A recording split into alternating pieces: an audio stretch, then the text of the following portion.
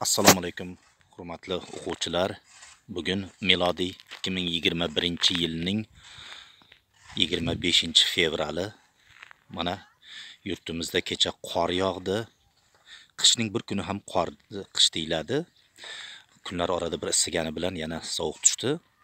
Shu munosabat bilan Boburnoma va Humoyinnomadagi ba'zi bir voqealarni esladim va shuni sizlarga bugun hozir suhbat o'tkazamiz, gapirib beraman.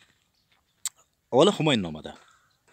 Boburning o'g'li Humoyin Hindistonni tashlab chiqqanida Safaviylar davlatiga yo'l olgan paytida bir toqqa chiqib borganida boshidan shunaqa sovuq o'tib ketadiki, meni boshim qishning chillasidan ham sovib ketdi degan iborani ishlatgan. O'shanda keyinchalik yana Humoyin Hindiston taxtini qaytarib oladi. Nima uchun Hindiston bilan Boburni eslayapmiz? O'rni kelganda mana shu qordan ham zavqlanib qolish kerak. Deylik, bugungi kunda hozirgi zamonaviy paytda Hindiston, Pokistonlarda qor tushmaydi. Kashmir va Panjobni ba'zi joylarini aytmaganda, ular O'zbekistonga kelishadi shu qorni ko'rish uchun. Qor tabiatning ajoyib bir hodisalaridan biri, Alloh taolaning bergan ne'matlari deb hisoblashimiz kerak.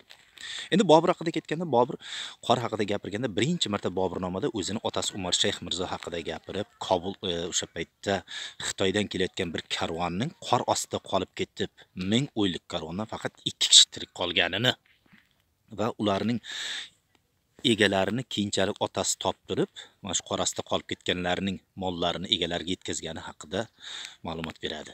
Endi Boburning qor bilan bog'liq voqeasi haqida gapiramiz. Bobur 1506-yil Hirotga borganida qaytish chog'ida dekabr oyining 24-kuni 1506-yil Bobur Hirotga qaytdi. Hirotdan Kobulga qaytadi. Kobulga kelish chog'ida qaysi yo'ldan ketish tanlanadi? Qandahar yo'li bilan aylanish uzoqroq edi, lekin uning yonidagi sheriklari bo'lsa Boburga eng yaqin beklaridan Xo'ja Kalon to'g'ridan yurishni, ya'ni bugungi kunda hisoblaganda 830 kilometrcha atrofi Hirotdan Kobulgacha.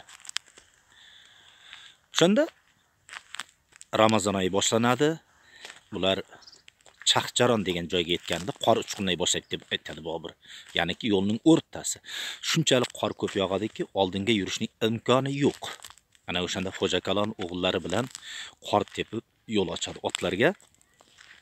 Bunda boburni o'zi ham qor tepishga tushadi. Otlarning beligacha qor tushadi va bir joyga borganda ular juda qattiq charchaganidan juda sekinlik bilan ilgari yuriladi.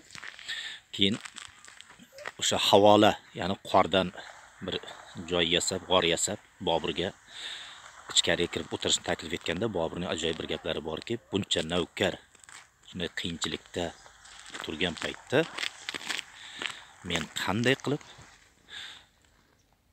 sinib o'tiraman deb o'zi ham navkarlar bilan birga qoladi. Xullas, e, o'sha qor kechish voqeasi keyinchalik Boburning she'rlarida ham aks etgan. Bugungi qor albatta barakat keltirsin deb niyat qilamiz. Zavqlaning. Mana ajoyib qish faslining so'nggi kunlaridan biri shu bahonada Hazrati Boburni ham esladik.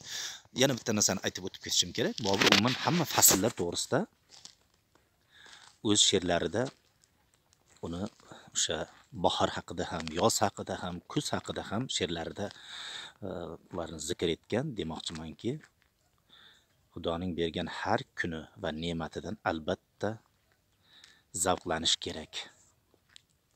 Yaqinda ishonaman, issiq kunlar kelib, mana shu qorni sog'inasizlar deb o'ylayman. Salomat bo'lingizlar.